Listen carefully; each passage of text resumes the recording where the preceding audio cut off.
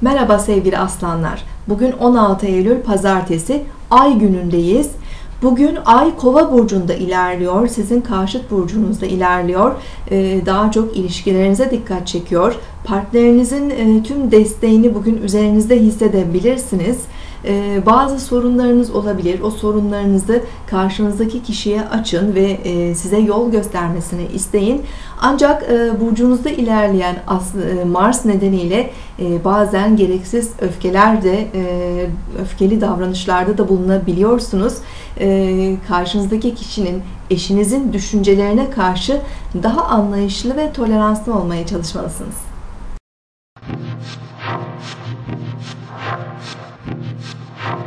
Burcunuzu dinlediniz.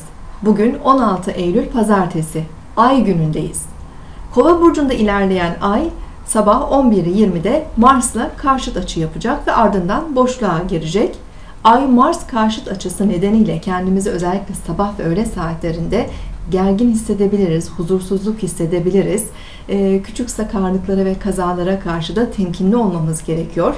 Öğleden sonraki saatlerde Terazi burcundaki Merkür Uranüs e, ve Plüton'la sert etkileşimlerde olacak. Bu da özellikle ilişkilerde bazı anlaşmazlıklar e, ortaya çıkarabilir. Denge ve uyumu bulmakta zorlanabiliriz. E, gün içerisinde ay boşlukta ilerleyecek.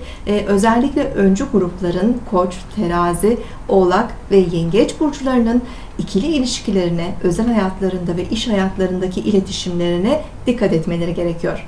Yarın tekrar görüşmek üzere. Hoşçakalın.